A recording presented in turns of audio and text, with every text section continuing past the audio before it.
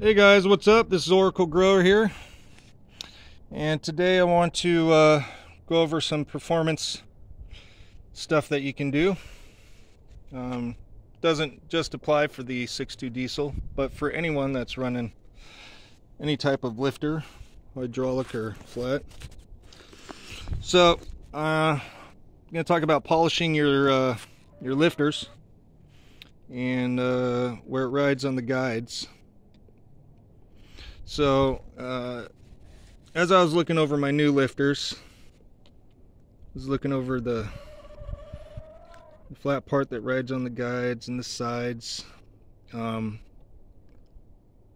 and decided they needed some help. So, um, got my handy dandy, uh, where's it at? Here we got some, uh, 320 grit sandpaper, some Blue Magic polish cream. So I use my sandpaper and I go over the side here, just the flat part, not the round part, just the flat part to get that nice and smoothed out. Clean it up.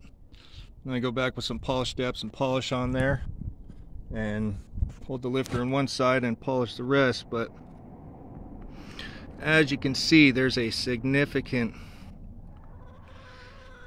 you know change in uh, in the surface there. You see the beautiful nice reflection and nice and smooth looking now versus uh, you know these don't really look that great. Um,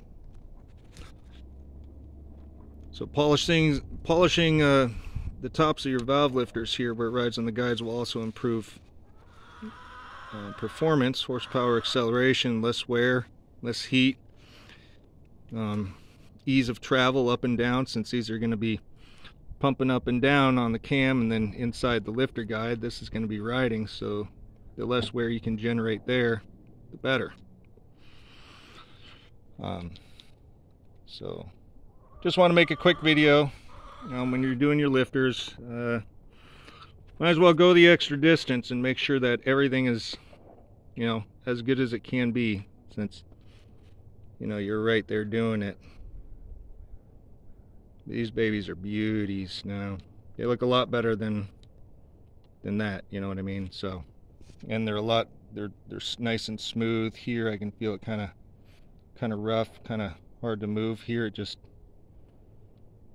these just slide nice and easy now. Real nice. I mean, the polishing really makes a huge difference for friction. So, just a little thing there. Um, I'm going to finish up doing the rest of these in here.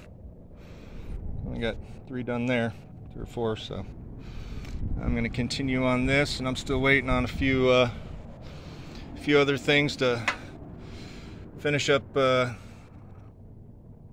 to, to get everything ready so I can start putting this old girl back together and listen to her purr. All right, so anyways, there you guys go. Hope you learned something. Later.